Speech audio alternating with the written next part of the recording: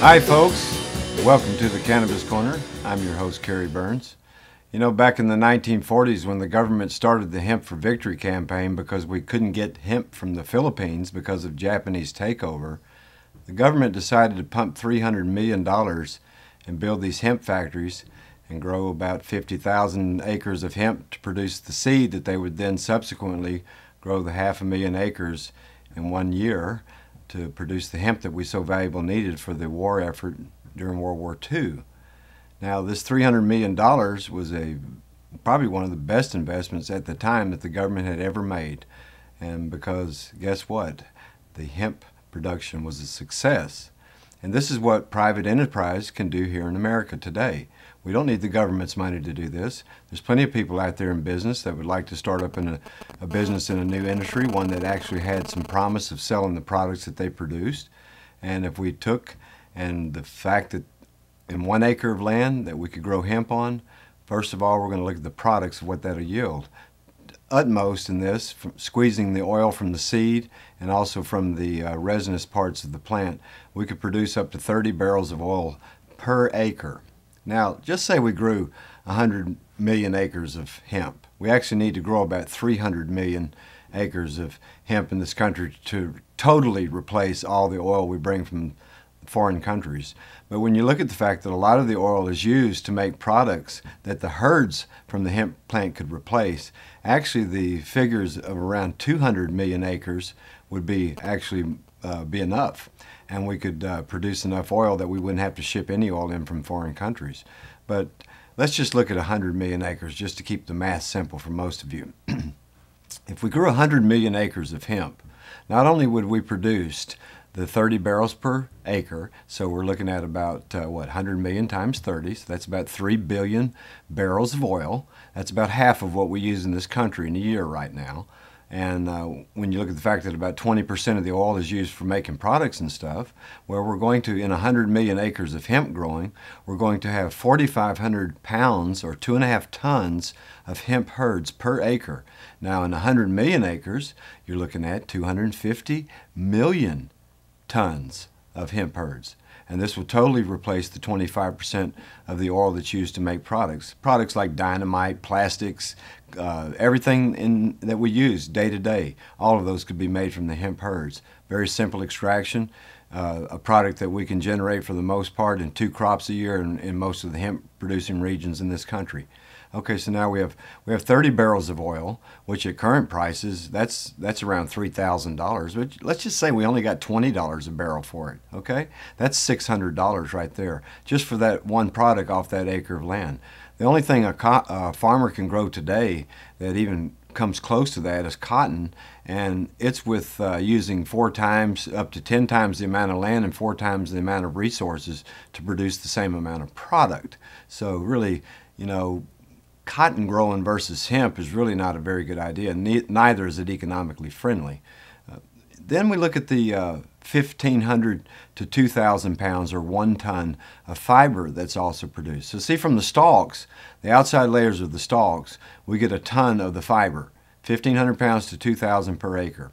Okay, one ton per acre in 100 million acres, we would be looking at 100 million tons of fiber. Folks, this is enough fiber to make rope and clothing and everything to stretch around the globe many, many, many times. And this is a commodity in our industry that is bought every day clothing, types of textile materials and stuff. That's what this fiber would produce. And the beauty of the hemp fiber is that it's about 100 times stronger than any other fiber that's produced out there. And, and not only is it 100 times stronger, but it's up to 75% cheaper to produce.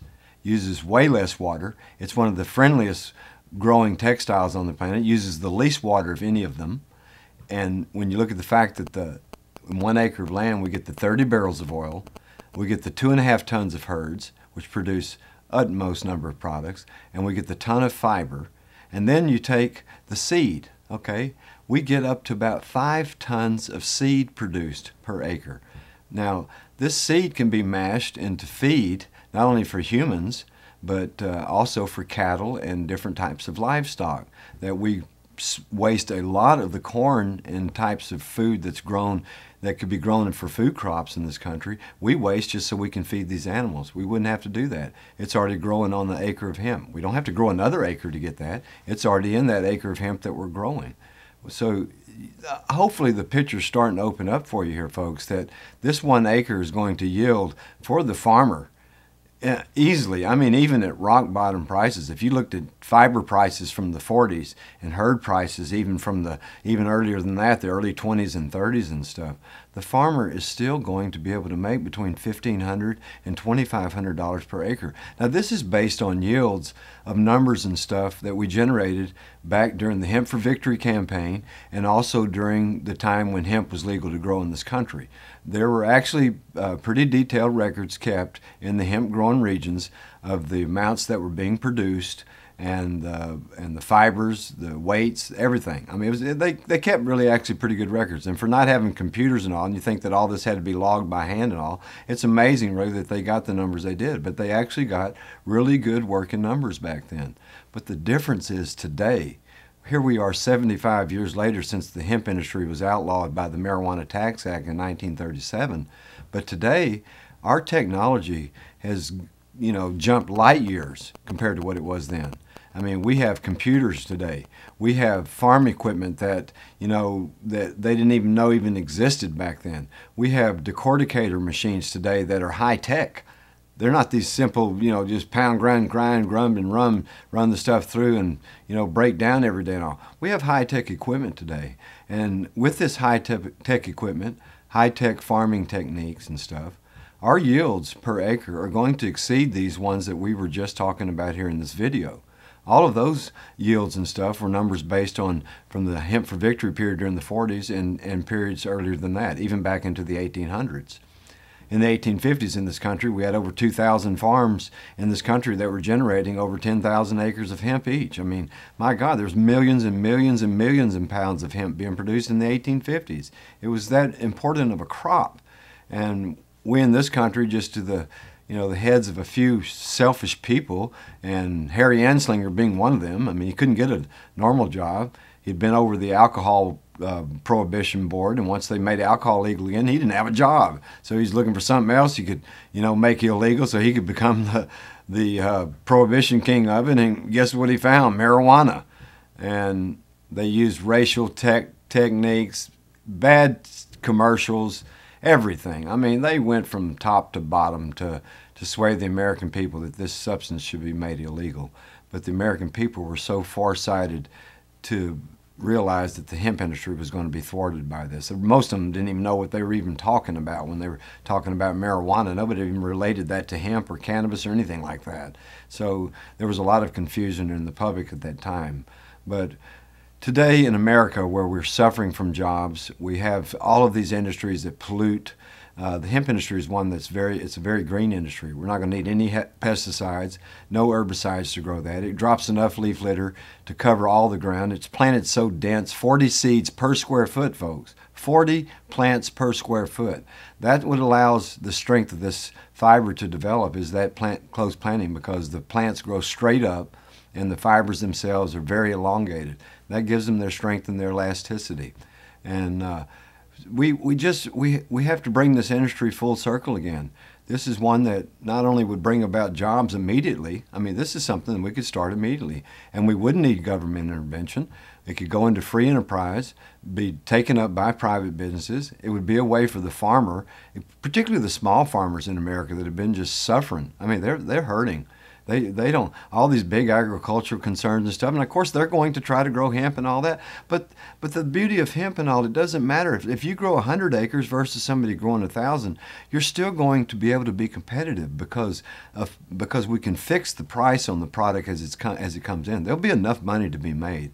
And if you have 100 acres of land that you were growing food crop or something else on, then you were making minimal amount on, this would definitely give you a boost in your income. And it would not thwart the food production in this country. This would help the food production in this country because the difference will be that we take the hemp seed and the mashed hemp seed, and this is what we'll be feeding to our livestock and to people. These are high in omega-3s, they're very rich in vitamins, very, it's very rich in protein. These would be a more than suitable substitute for anything we're feeding cattle and livestock right now in these feedlots. In fact, it would be better for them. It would more simulate what they get by eating grass out in the field corn is really not a good thing to be feeding cattle and they only do it to beef up the, the beef and all that right before it goes into market to be sold. If we were if we were producing cattle that were raised on hemp mashed hemp seed and then allowed them to to uh, eat coastal hay and stuff that's grown we would not only be producing better cattle but we could produce it a lot cheaper. And if we could produce the meat cheaper the farmer will make more money and also the consumer won't have to pay as much and when we look at the fact that 30 barrels of oil could be replaced for every acre of hemp we grow, we could totally do away with the foreign oil and keep the trillion dollars a year that we just spend on gasoline to run our cars in this country. We could keep that money in this country and let that trillion dollars work in our to our favor. Not have it go out there that we're having to borrow and pay interest on it. So it's it's debting us the whole way, and, and there's nothing positive about it. This way here is positive. It's win-win. How, how could we say no to that? And, and not to mention the drug war. We, we're not even going to get into that. That's just a whole other separate set of reasons why we shouldn't even even have any of this going on. But let's look at the economy of this, folks. An acre of hemp produces a lot. Produces a lot for the farmer, produces a lot of products, and it produces them cleanly and it replaces these products that we are spending a fortune for in this country. Things that are taking money out of our economy that could be enriching our economy. We, we, there's no excuse for having to fire teachers and stuff because of budget shortfalls from taxation and stuff. This is ridiculous. We don't have to go through that. There's plenty of money to be made. We just have to get over this thing about people getting high on marijuana. We don't care if they get sloppy, passed out, drunk on alcohol. That's okay. Sell it at Brookshire's. It's okay. But we're so worried about people getting high on marijuana, and they they they don't do violent crime. They don't go out and do stupid things. They don't go out and mess up. It's ridiculous that we have this another lie that's keeping an industry that could really turn this country around. So please, folks, if you if you really wanted to do some good today, start educating the people around you who are ignorant. And that's all it is. It's just it's an ignorance to the facts. And show them these videos. Let them read, let them understand. This this material is well documented and it's not something that's been done in modern time just so people can get cannabis legal and then we can get high. That has nothing to do with it. The the, the cannabis portion of this is is pales in comparison to what the hemp industry is going to do. The money generated from taxation on cannabis and regulating all that, like they're talking about, that's just so stupid. I mean, the same people who came up with the Marijuana Tax Act must have taken their brains and put them in the people who are talking that nonsense. Turn it over to free enterprise make it legal across the board. If people want to smoke cannabis, it's their God given right. It's way safer than anything else they could put in their body in any, any substance, and it has certainly soup, just a tremendous amount of benefit and would enrich their lives, let alone our economy. And we thank you for spending time in the Cannabis Corner.